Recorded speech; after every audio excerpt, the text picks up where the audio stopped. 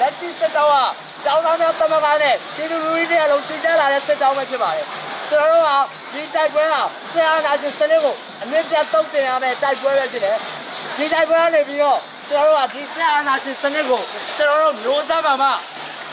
အမြင့်ပြတ်မချိန်ပေါင်းနိုင်ရင်ကျွန်တော်တို့ရဲ့နောက်မျိုးသက်တွေပြီးကျွန်တော်လက်စမကမ်းနိုင်ဘူးဒီမြန်မာပြည်ပေါ်မှာဒီဆရာနာရှင်စနစ်ဟာလုံးဝကြာဆုံးသွားမယ်လုံးဝအမြင့်တွယ်လို့မရဘူးအဲဒီတော့ ကျွန်တော်တို့ပြည်သူလူထုတွေတဲ့အလုံးနဲ့အတူကျွန်တော်တို့ចောင်းသားတွေအများအားဖြင့်ရှိနေပါတယ်